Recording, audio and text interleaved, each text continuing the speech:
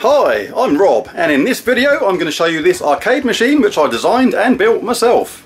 This arcade cabinet here is the first one which I designed and built myself. I do absolutely love it but if it's got one flaw it's the fact that when you play Xbox games you needed to change a wheel over.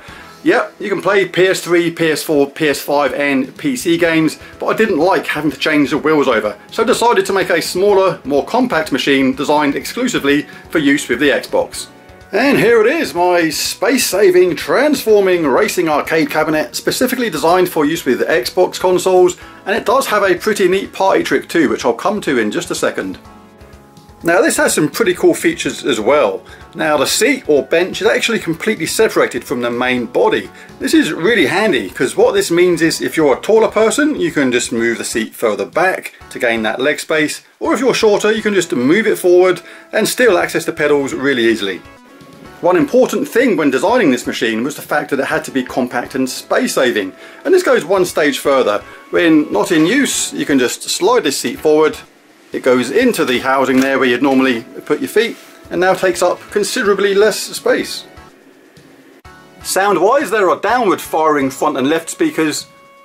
And we have a center speaker there built into the main dashboard area. And there's also a subwoofer built into the seat and two rear speakers at the back of the machine. For the racing wheel I decided to use Microsoft's wheel for this. It's old but still works pretty well. The force feedback isn't that great, it's more shaky vibration than actual force feedback, but it still functions pretty well for the arcade racing games and gives that nice arcade feel. The pedals are fixed onto a plate so do not move anywhere even under extreme use. Added some nice little touches like the sticker speedos there and the outrun mini-map. The console itself is stored inside the marquee hatch and is handy when you want to access the machine for those disc-based games. Most games are on the internal hard drive but it is really handy to have access to the disc drawer at the same time.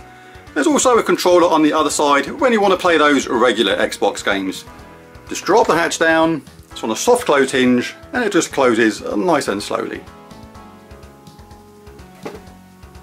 Now I can play so many of my favourite games from here, like Outrun 2, Daytona USA, Crazy Taxi,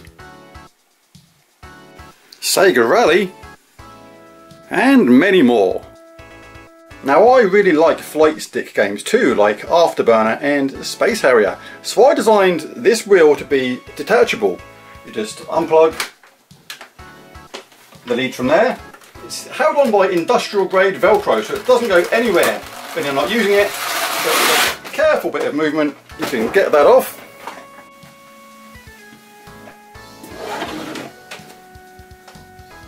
have a flight stick here which then we can just place straight down. So with a small but powerful PC built in as well, I can now play those flight stick games the way they were intended. Love Space Harrier. Afterburner 2, Thunderblade and more. So there it is, there's my racing cab that transforms into a flight stick cab. I really love this machine, use it a lot, really like it. If you enjoyed the video be sure to consider hitting that like and subscribe button, it really does help. Thanks for watching and I'll catch you again next time. Bye for now.